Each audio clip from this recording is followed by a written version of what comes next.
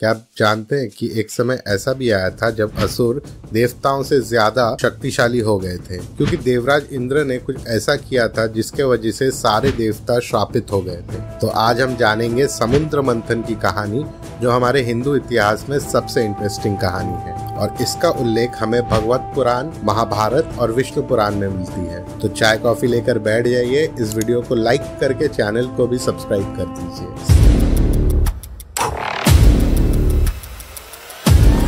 समुद्र मंथन की कहानी शुरू होती है जब देवराज इंद्र और सारे देवता श्रापित हुए थे ऋषि दुर्वासा से। एक बार ऋषि दुर्वासा देवराज इंद्र के लिए चरावे के तौर पे एक माला लेकर आए और इंद्र ने इस माले को एक्सेप्ट भी किया। लेकिन इंद्र वो माला खुद पहनने की जगह अपने हाथी के दांत पे लटका दिए। बट इस फूलों की हार से जो खुशबू आ रही थी उससे हाथी इरिटेट हो गया एंड इस हार को अपने दांत से ज़मीन पर गिरा दिया और इस दृश्य को देखकर ऋषि दुर्वासा क्रोधित हो गए और सारे देवताओं को श्राप दे दिया कि वो अपनी शक्ति, बल और भाग्य खो देंगे और ठीक ऐसा ही होने लगा।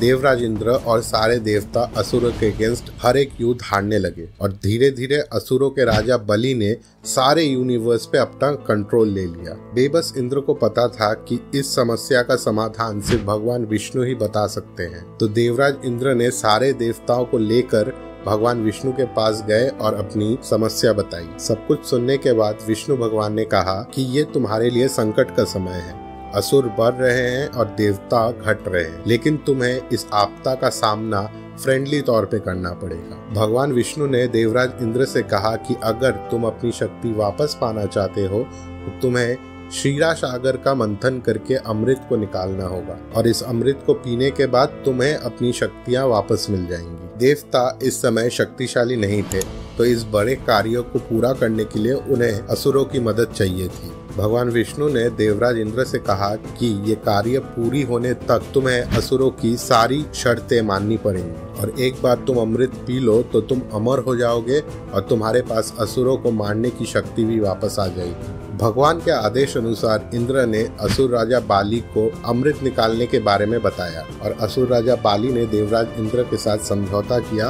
और समुद्र मंथन के लिए तैयार हो गए। समुद्र को हिलाने के लिए मंदराचल पर्वत को करची की तरह इस्तेमाल किया गया और नागराज वासुकी को रस्सी की तरह। लेकिन जब भी पर्वत को पानी में डाला जा रहा था हिलाने के लिए, वो हर बार फिसल कर समुद्र के नीचे चली जा रही थी और इसे रोकने के लिए भगवान विष्णु ने तुरंत एक कछुए का रूप ले लिया और पर्वत को अपने पीठ पर उठा लिया। भगवान विष्णु का कछुआ रूप उनका दूसरा अवतार है, जो कुर्मा के नाम से जाना जाता है। भगवान नारायण ने असुरों में देवी शक्ति और देवों में भक्ति की शक्ति डालकर वासुकी नाग को गहरी नींद में सुला दिया ताकि उनको कोई तकलीफ़ ना हो। असुर मूर्ख थे। उन्हें लगता था वासुकी नाग को उनके मुँह के तरफ़ से पकड़ने से कुछ फ़ायदा है और इसीलिए असुरों ने देवता से कहा कि हम सबसे शक्तिशाली हैं एंड किसी से भी इंफीरियर नहीं है।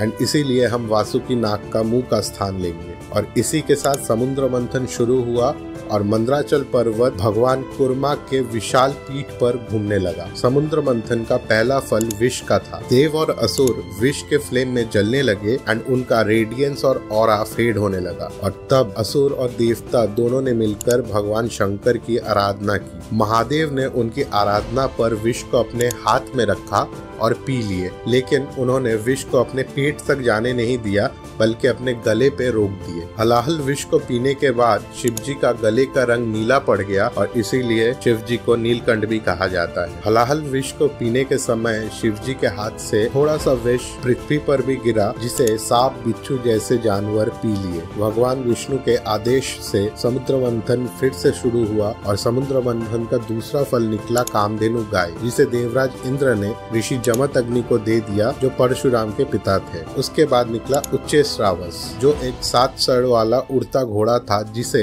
असुरों के राजा बलि ने रखा। फिर एक विशाल सादा हाथी निकला एरावत जिसे देवराज इंद्र ने खुद के लिए रखा। और एरावत के बाद प्रेशियस जेम कौस्तबा मनी निकली, जिसे खुद विष्णु भगवान ने रखा। जिसके बाद कल्प वृक्ष और एक अप्सरा निकली रंभा एंड इन दोनों को स्वर्ग में रखा गया। एंड इसके बाद माँ लक्ष्मी समुद्र से बाहर आई एंड उन्होंने खुद विष्णु भगवान को चुना विवाह के लिए। माँ लक्ष्मी के बाद वरुणी निकली समुद्र से एक लड़की का रूप लेकर, जिन्हें असुरों ने रिसीव किया। और फिर एक के बाद एक वस्तुएँ निकली, जैसे परिजात, वृक्ष शंख इत्यादि। और अंत में धनवंतरी वैद्य खुद अमृत को लेकर प्रकट हुए। अमृत को देखकर देव और असुरों के बीच लड़ाई शुरू हो गई और असुरों ने धनवंतरी के हाथ से अमृत का कलश छीन कर ले लिया और खुद के बीच में लड़ने लगे। जब असुर धनवंतरी के हाथ से अमृत का कलश छीन रहे थे, उस वक्त अमृत की कुछ बूंदे अलग अलग जगह पर गिरी। अलाहाबाद प्रयाग उज्जैन, नासिक और हरिद्वार। और इसीलिए इन जगहों में हर 12 साल बाद कुंभ की मेला होती है। दुर्वासा मुनि के श्राप के कारण देवताओं में वो शक्ति नहीं थी कि वो असुरों से लड़ पाए। इसीलिए वो निराश होकर असुरों को लड़ते हुए देखते रहे। देवताओं को निराश देखकर भगवान विष्णु ने तुरंत सुंदर मोहिनी अवतार ले लिया और असुरों के सामने प्रकट हुए। असुरों ने मोहिनी अवतार का सुंदरता को देखकर विचलित हो गए।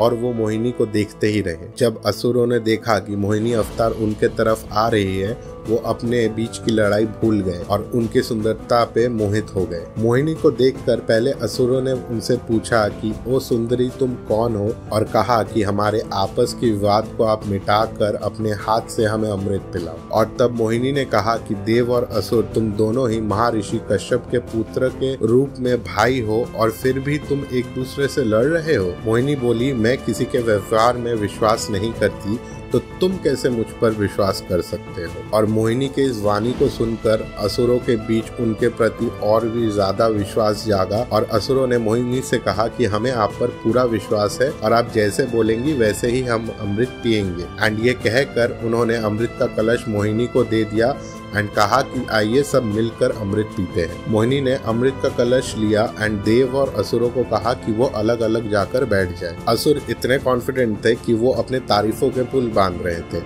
और इधर मोहिनी देवों को अमृत पिला रही थी। असुर अपने तारीफ़ में इतने खो गए कि वो अमृत पीना ही भूल गए। लेकिन राहु असुर ने मोहिनी के खेल को समझ लिया और वो देवता का रूप लेकर देवों के बीच बैठ के अमृत पी लिए। जब अमृत राहु असुर के गले तक पहुँची, तब चंद्रमा और सूरज ने कहा, अरे, ये तो राहु असुर है। और ठीक उसी समय विष्णु भगवान ने अपना सुदर्शन चक्र निकाला और राहु असुर के सर को धड़ से अलग कर दिया। लेकिन तब तक अमृत का इफ़ेक्ट हो चुका था और इसीलिए राहु का सर और शरीर दो ग्रह बन गए, जिसे राहु और केतु बोला जाता है। एंड ये आकाश में स्थापित हो गए। तो इस तरह विष्णु भगवान ने मोहिनी अवतार लेकर देवों को अमृत पिलाया और वहाँ से चले गए। विष्णु भगवान के जाते ही असुर क्रोधित हो गए और देवताओं पर हमला कर दिए। एंड ऐसे ही फिर एक बार देवता और असुरों की युद्ध शुरू हुई, जिसमें देवराज इंद्र ने बाली असुर को हरा कर अपना स्वर्ग लोक वापस ले लिया। समुद्र मंथन की कहानी बहुत ही मज़ेदार, एक और ऐसे ही मज़ेदार कहानी है भारतवर्ष की सबसे बड़ी तंत्र साधिका लोना चमार जानने के लिए ये वाली वीडियो देखें। So this is Soham Antil next time